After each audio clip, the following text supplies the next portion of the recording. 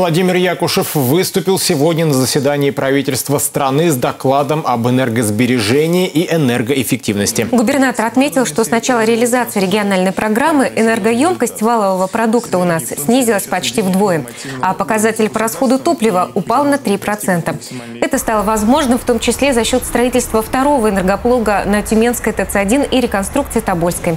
Владимир Якушев поддержал предложение министра энергетики Александра Новака о выделении субсидий регионам и совместной работе с Минэкономразвития. У нас сегодня реализуется огромная программа значит, э, капитального ремонта.